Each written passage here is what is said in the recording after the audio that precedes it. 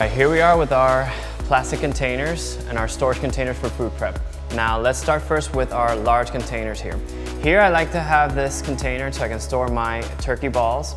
The idea of having this container is that it's long and short, allowing me to have multiple of these containers separate for when I exactly need it in the freezer. So here, boom, I can have three or four and it takes more efficient space in the freezer as well. Now the good thing about having these and why the reason I have these is because I, uh, here I have lunch for two days. So approximately two and a half meals here that all I do is I take out, take two of these balls, 20 grams a piece, shut it, add vegetables, add any carbs or add nothing at all,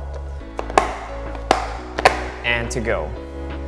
Now, this is a great thing about having these two sizes here because it makes it more efficient and effective for when you need to just take out out of the fridge, put it in your refrigerator, and just have two days. And then you don't have to open a big container and take out a bunch of frozen meats and then have to defrost the other ones so you can take a few of them out and just have them for the next two days. Here you have them portioned and rationed for every single two days.